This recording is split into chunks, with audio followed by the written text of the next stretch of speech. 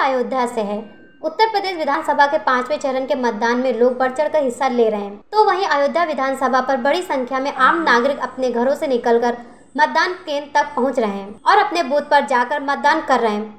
इसी कड़ी में जनपद अयोध्या में मॉडल बूथ जीजीआईसी मतदान केंद्र पर कमिश्नर नवदीन रिनवा, डीएम नीतीश कुमार एवं अन्य अधिकारी ने वोट डाला। वहीं चुनाव को निष्पक्ष व सकुशल संपन्न कराने के लिए डीएम नीतीश कुमार व एसएसपी शैलेश कुमार पांडे द्वारा राजकीय बालिका इंटर कॉलेज में बने बूथ का निरीक्षण किया गया। पकड़ो।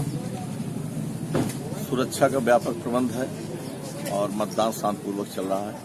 मोबाइल पार्टियाँ हैं प्रचारीगण हैं लोग मोबाइल में हैं पूरी कुशलता। है।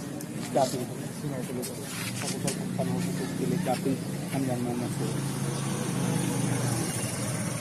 सभी के लिए यही है कि मतदान करें मताधिकार मताधिकार का प्रयोग करें पूरी शांति व्यवस्था। Bureau report news hub Bharat.